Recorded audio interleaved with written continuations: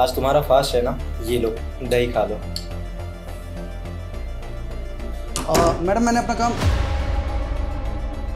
अबे दो कौड़ी के गार्ड तेरी हिम्मत कैसे हुई मैडम को अपने हाथों से खाना खिलाने की? वो भी तू अपने गंदे हाथों से मैडम को खाना खिला रहा है हाँ? तुझे ना यहाँ पे तनख्वाह सिक्योरिटी करने की मिलती है ना कि मैडम को खाना खिलाने की। आने दे आज बॉस को। मैं ना तेरी अकल ठिकाने लगवाऊँगा। अरे क्या हुआ विक्की? चिल्ला क्यों रहे हो तुम? सर अच्छा हुआ आप आ गए। देखिए ना ये दो कौड़ी का गार्ड मैडम को अपने हाथों से खाना खिला रहा था। क्या? सच में? ये अपने हाथों से इसे खाना खिला रहा था? हाँ सर मैं सच बोल रहा हूँ। अगर आपको मेरी बातों में बिलीव नहीं है ना तो आप बेशक सीसीटीवी फुटेज चेक कर सकते हो। नहीं नहीं सर। फुटेज चेक करने की ज़रूरत नहीं है। मैं अपने हाथों से खिला रहा था। देखा सर? आपने देखा? इसने अपने मुँह से कबूल किया कि ये मैडम को अपने हाथों से खाना खिला रहा था। क्या? तेरी इतनी हिम्मत? तू यहाँ सिक्योरिटी गार्ड के पैसे लेता है। या खाना खिलाने के नहीं? तू निकल। मेरे ऑफ़िस अभी निकल। बस करो अब। हाँ खिला रहा था ये मुझे खाना क्योंकि पति है ये मेरा। क्या ये तुम्हारा पति है?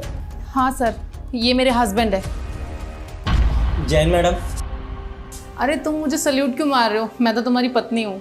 अरे पत्नी तुम मेरी घर पे हो पर यहाँ पे तुम मेरी सीनियर हो और यहाँ पे काम करती हो। तो ये मेरा फ़र्ज़ बनता है कि मैं तुम्हें सल्यूट करूँ। तुम भी ना।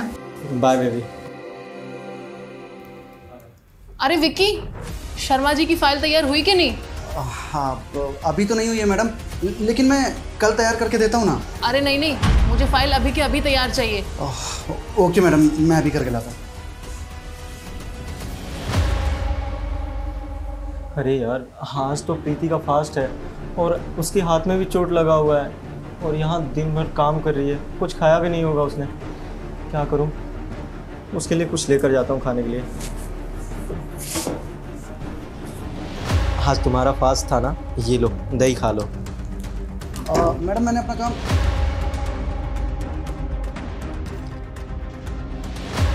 अब बोलो अब तुम्हें कुछ बोलना है? अब कैसे बोलती बंद होगी तुम्हारी? हस्बैंड है ये मेरे। बोलो ना जो तुम्हें बोलना था। I am really sorry Preeti ma'am मुझे पता नहीं था कि ये आपके पति हैं।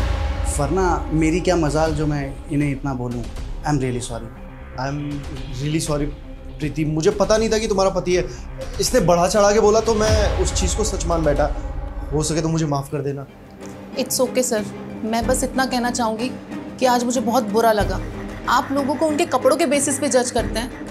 मेरे पति अमीर हो या गरीब, लेकिन वो मुझसे बहुत प्यार करते हैं। वो मेहनत से पैसा कमाने में विश्वास रखते हैं, ना कि दूसरों के आगे हाथ फैलाने सर कपड़ों के बेसिस पे लोगों को जज करना बंद कर दीजिए। ज़माना बहुत आगे बढ़ चुका है।